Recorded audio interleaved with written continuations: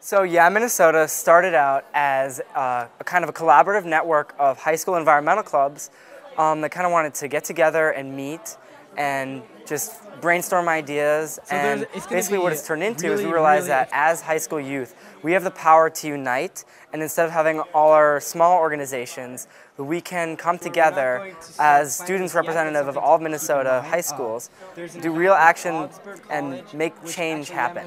The Will Steger Foundation is one of the key sponsors for the YEA Minnesota Young Environmental Activist Group that's recently formed here in the Twin Cities. And uh, it's been a real honor for us to work with some incredibly inspiring young people who are working really hard in their communities to uh, network with their peers and to make real and lasting change, not only in their school community, but also in their wider towns and their wider cities to get their school boards on board with recycling projects um, and all kinds of other initiatives to get their local politicians paying attention to the youth voice. Um, it's been really exciting for us to see this group really flourish, to expand from 12 members uh, just three months ago to now over 100 young people that came here for this event tonight. So um, it's really exciting. And you know, these movements are a lot of fun. They're social. You get together, you got a purpose, you make movements. It's positive. You're doing things, you're making changes, you're moving the adults. So keep doing what you're doing here. Uh, get connecting, get organized, uh, take action. You have to take action on Well, Will Steger, more so than uh, any politician or anyone else that I've heard talk, he has an eyewit- the eyewitness account. He, can, he sees global warming from where it's really happening, how it's really affecting people's lives.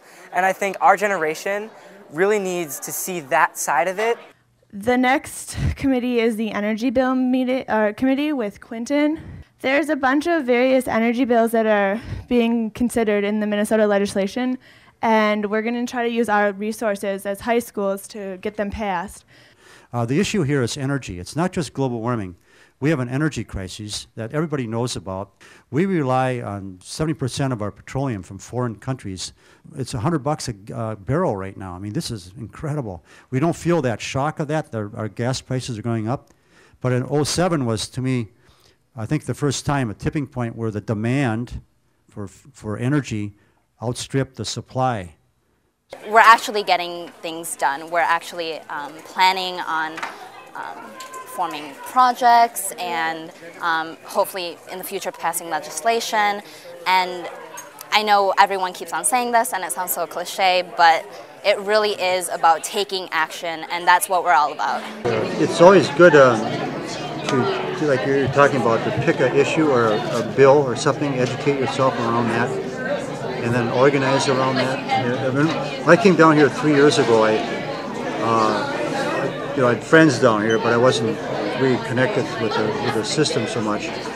And there was, at that time, it was called the Renewable Electricity Standards, which would put us at 20% renewables by 2020, and we were, they were losing the vote on it, and, and, uh, and it was a, you know, we had a lot of oppositions on it, but, but for myself, it was a good, a kind of a good rallying point, and, and the goal there was to get this bill passed to get wind turbine manufacturing in, and, you know, economically it's not long range, but I organized around that one particular bill, which really, really helped me focus a lot, and then through that I made connections to many people.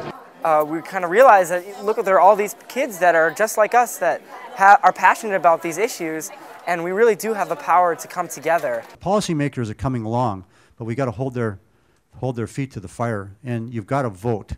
If, if you start voting, people won't listen to you if you don't vote. If you start voting, basically, the politicians will come to you because you've got the power. If you want to change something here, you need power. If you want power, you need organization. It's that simple. Once you organize, you got the power, you can change. Uh, global warming and the climate crisis and everything that's going on in the environment is really going to be the defining issue of our generation.